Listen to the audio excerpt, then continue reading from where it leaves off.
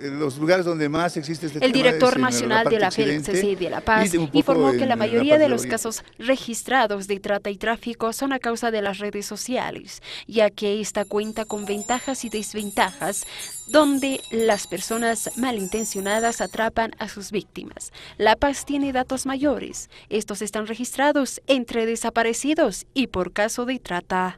Unos, eh, en La Paz por lo menos hay unos cinco casos por semana pero ya les digo que están estos entre pérdida, desaparición de persona. En estos últimos eh, cinco años del 2012 al 2018, seis años ya, eh, de 3.000 personas desaparecidas a fines de explotación sexual y a fines de explotación laboral, un 30% eh, estamos hablando de un unas 500, 600 personas que, bueno, no se sabe más eh, dónde, dónde puedan estar, ¿no?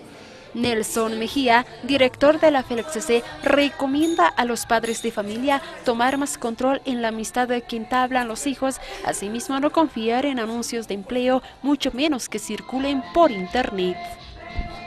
Exhortarles a los padres de familia mayor control.